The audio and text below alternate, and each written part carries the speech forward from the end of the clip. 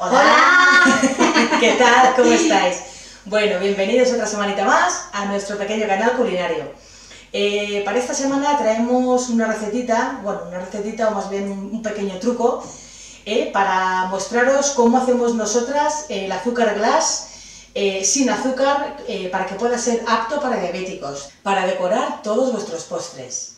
Obviamente este pequeño truco, después de tantas cosas con las que ha probado mi madre, eh, se lo ha sacado ya de la manga, haciendo todas sus pruebas para que los equilibrios de, de las cosas que se van a utilizar queden estupendo, no se nota absolutamente nada, de verdad, o sea, os invitamos a que por favor y os pedimos a que lo probéis porque vais a comprobar que está delicioso y que os va a quedar fantástico.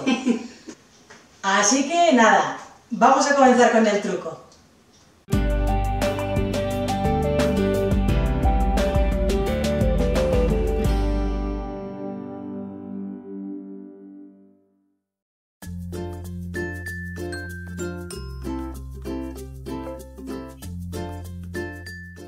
Bueno, pues los ingredientes que vamos a necesitar es sucralín y ah, maicena o harina de maíz.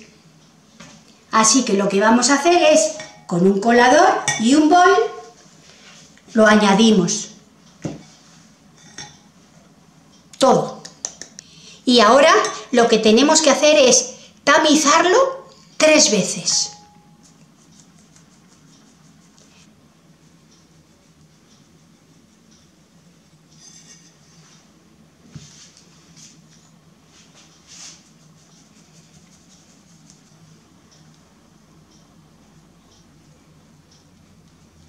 Y ahora vamos a por la tercera vez.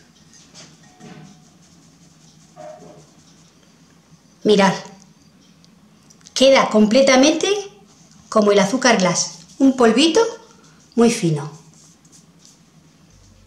Bueno, pues ya habéis visto mm, lo rápido que hemos hecho este pequeño truco y ahora como siempre, aunque no es una receta receta, pero vamos a probar eh, esa pequeña textura que queda para comprobar si de verdad eh, queda como el azúcar glass.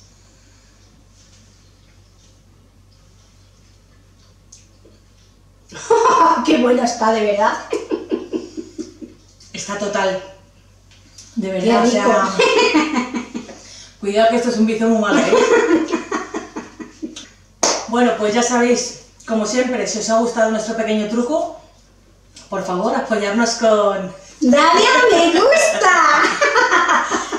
compartirnos para que nos pueda conocer más gente y si aún no lo has hecho y no te quieres perder ninguna de nuestras recetas o trucos, pues por favor suscríbete a nuestro canal, estaremos encantadísimas de ir recibiendo más amigos. Y sobre todo, daros las gracias a todos por vernos.